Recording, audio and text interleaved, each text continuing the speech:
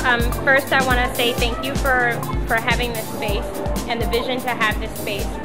But um, also, tell us a little bit about what was the initial idea and why you wanted to open up the 1917 Bistro and um, maybe some of the other things that you do as outreach outside of the food part of it.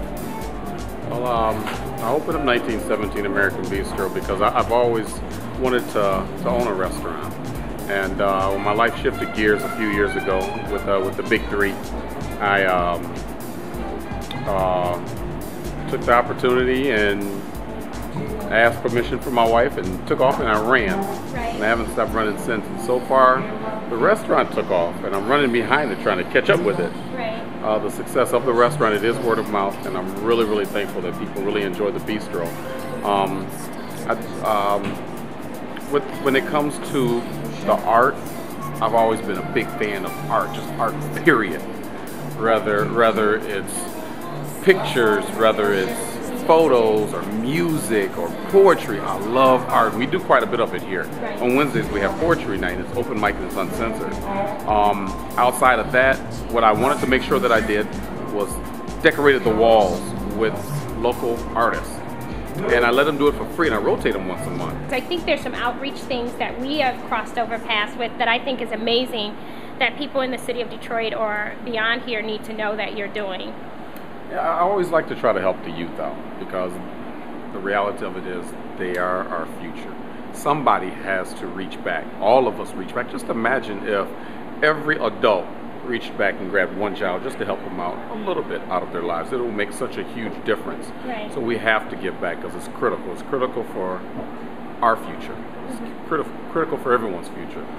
So we have to give back. And uh, I have uh, the summer programs here where I allow youth to come in and they learn um, a lot about the restaurant business. They learn how to, uh, they learn work ethics. Okay. And it's critical, and that will help you maintain employment. Okay. Um, I've had a job ever since I was 13 years old. so you give them internships and I training. give them internships and training.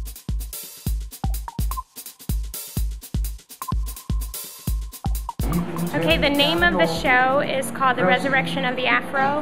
And I grew up in the 70s, and my mother picked out her hair every day, and I stood and watched her in the bathroom pick out her hair and, you know, pat it and make it perfect. And I had an afro, and so I wanted to do something um, with that theme in mind. And I love the afro, I love big hair, I like natural hair, and I'm also very tactile. So, in making my work, my hands are always engaged in the feel of the paper or the paint and very often even though I'm painting with brushes I'm also moving the paint with my hands or with my fingers so um, that's really how it started. Um, it kind of turned into a whole nother animal because I started researching African hairstyles where um, Americans are influenced by them and what they meant. So there's a whole story of resistance behind the afro, or the fro as we call it. Um,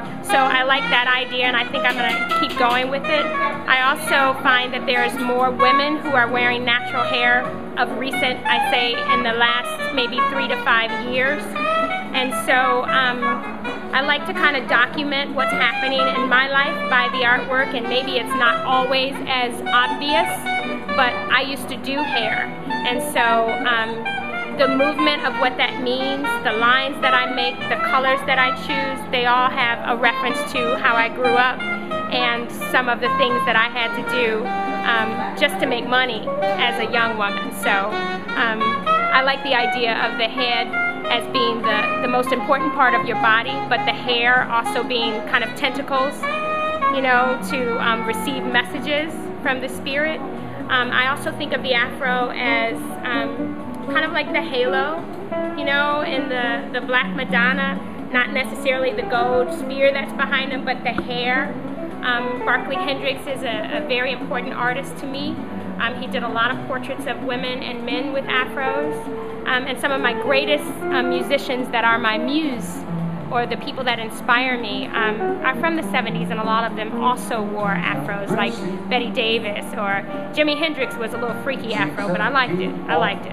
Um, even the Commodore is in the 70s, you know, from my mother's favorite song of Zoom. I look at the album cover and I, I see them.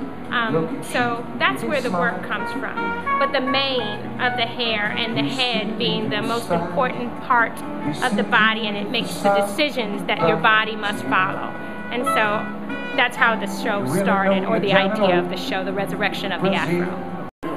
This piece is um, Yemaya and Oshun. I like allegorical um, images or things that are representational of um, like myths okay. mythology. Right. So Yemaya and um, Oshun are African deity that represent the waters or the rivers, and they typically take care of children that are motherless, and they also take care of people when they've been harmed in some way. Mm-hmm. So um, one is Yemaya and the other one is Oshun, and they're having a conversation you know, but I envision them as women with afros. Right. You know? so, um, Oshun okay, is in the blue, Yemaya is in the gold. And they're on the bed of the water. You see the fish. But they're having a conversation. And I also think of, um, you know, music is my muse. So I think of the song Black Butterfly. Oh, yeah. And so I right, exactly. so black butterfly. Right, right. So I was thinking of that, listening to it when I was making the piece. So that's what that piece is about.